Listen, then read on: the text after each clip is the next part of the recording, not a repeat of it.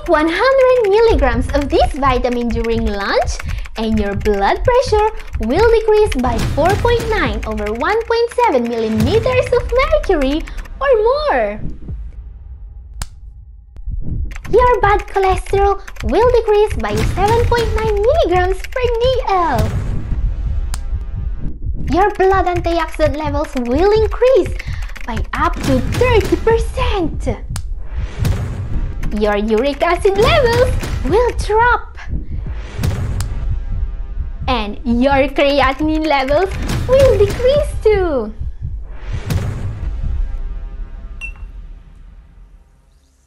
Welcome to Double. If you are new here, my name is Katherine and I've been working with people suffering from kidney problems for almost 10 years now.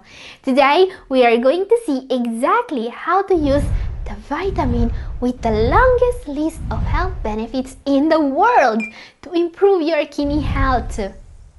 This is a key nutrient and also one of the most powerful antioxidants on earth.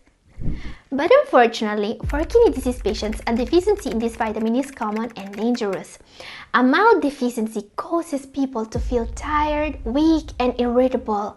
Severe deficiency, called scurvy, causes bruising, gum and dental problems, dry hair and skin, and anemia. I'm talking about vitamin C, obviously. And now you may say, Katherine, we're not pirates from the 17th century. What are you doing? What are you doing? No, what are you doing? We are not going to get scurvy. And you are probably right, but also consider this. Most foods rich in vitamin C are forbidden due to their potassium content. This is why many people suffering from kidney disease also have low levels of vitamin C. You may not be risking scurvy if you eat fruits and veggies regularly, but chances are your vitamin C levels is not high enough. This is what a recent study found out. Actually, most nephrologists today recommend to supplement vitamin C daily in addition to a diet high in fruits and vegetables, especially those rich in vitamin C that we are going to see in a moment. But vitamin C supplements also come with a hidden danger, so absolutely watch this video before supplementing this key nutrient. Before that, let's see what happens to your body when you supplement vitamin C. Vitamin C plays a crucial role in wound healing, bone and tooth formation, and heart health. It is also widely known for its function as an antioxidant. It actively improves immune health and protects the kidneys from oxidative stress. Supplementing vitamin C will have results that are immediately visible even in your blood tests. There is another reason why this vitamin could give you an immediate kidney health boost. Vitamin C is the key vitamin when it comes to fighting anemia. Anemia is extremely common in CKD and it's a known cause of kidney damage and even death.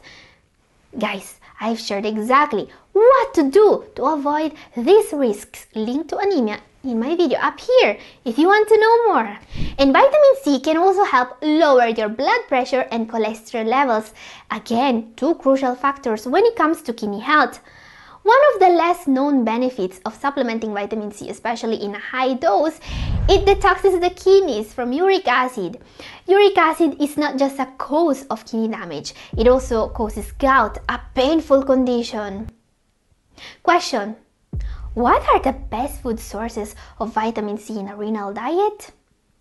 The most well-known source of vitamin C are citrus fruits. All citrus fruits have good levels of vitamin C, but if you want to choose a low potassium option, focus on tangerines, grapefruit, and mandarin oranges.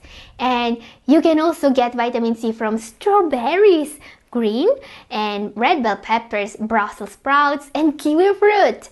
These foods are all suitable for a renal diet as they are low enough on potassium. But should avoiding potassium be really a priority for people with kidney disease? Many researchers today are questioning the link between potassium in the diet and potassium in the blood in people with kidney disease. Yes, we may find out sooner than later that prescribing diets revolving around limiting potassium was a mistake. If you want to find out why, My video up here has all the answers. What we need to know right now is that, in many cases, these foods are not enough to get the vitamin C you need. Studies say that it will be better to also supplement this key nutrient. Now, before we see the right dosage for this vitamin, let's take a look at a hidden danger linked to supplementing vitamin C. Safety first. Vitamin C comes with a hidden danger. There are two forms of this vitamin on the market mainly ascorbic acid and sodium ascorbate. Supplementing this essential nutrient can effectively lower your blood pressure, but only if you are supplementing the right form of it.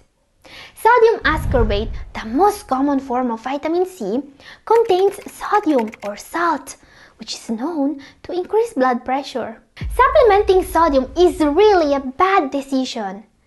So, time to go to your medicine cabinet and double check the label of your vitamin C. If you are taking ascorbic acid, you are safe. If you are taking sodium ascorbate, it may be increasing your blood pressure, especially at high doses. If this is the case, consult your doctor and find a better alternative. Also, even if vitamin C supplements are sold without a prescription, it doesn't mean you don't need one. This is very important, especially if you have kidney disease in the advanced stages or if you are doing dialysis. Vitamin C in large doses may even be dangerous as we have seen and it may also have some interactions with commonly prescribed medications such as statins or warfarin. And what about vitamin C supplements and kidney stones? If you have a history of calcium oxalate kidney stones, vitamin C supplements may not be a good idea, especially in high doses. People that never had calcium oxalate stones shouldn't worry about this, however. Okay, time to take a look at the right dose for this essential vitamin. Because vitamin C is excreted by the kidney, intake greater than 100 to 200 milligrams a day should be avoided by people with CKD in stage 4 or 5 to avoid oxalosis, which is the accumulation of the metabolic byproduct of ascorbic acid. And guys, many supplements on the market contain 500 milligrams or even 1000 milligrams per single pill. So be very careful with what supplement you are choosing. Actually, you will get most of the benefits this vitamin has to offer already with a dose as low as 100 milligrams per day. Most multivitamins marketed for kidney disease patients only have 60 milligrams of vitamin C, and that's already enough. Because when it comes to antioxidants, having different sources of antioxidants always beats a higher dose for a single source. And there is one antioxidant that's even more powerful than vitamin C for kidney health. It's the most powerful in the world. Do you want to see it? It's in my video up here and this is all for today. Thank you for watching.